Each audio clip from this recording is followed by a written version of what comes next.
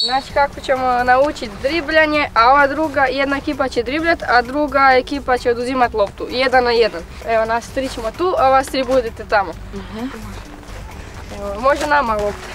Mi smo ekipa koja driblja, Dobro. a oni nam pokušavaju oduzeti loptu, ali u stvari ja idem prema Pauli, radim neku fintu, neku koju znaš, koja ti je Dobro. najlakša ili najbolje ti ide. Tipa, na prve. Na primjer, pa kaj si naučila po ljetu mi pokaži.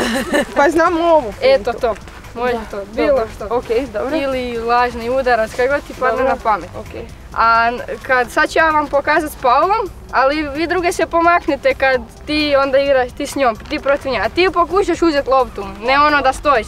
Odi za njom i pokušaj uzeti loptu. Prvo ćemo ja i Paula, a poslije Mija i Dobro. Mirela i vi. Može. Dobro.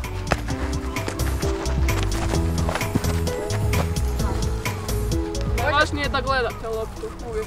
Kad god ona radi, nikad ona baš to toliko te pokrete, nego uvijek prati loptu. Ajde sad ti. Aha. Ako hoćete još više se udaljiti, to možda vam je lakše.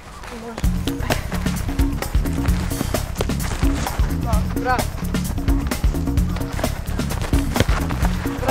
Ua, super. Kad igrač ide prema tebi, o, koncentriraš se ne kak di ona ide lijevo desno, nego samo na loptu. Jer to je ono se rade. Da. I ti gledaš loptu, koncentriraš se na loptu, jer ona će raditi ne znam lijevo desno, a lopta u stvari ide cijelo vrijeme ravno.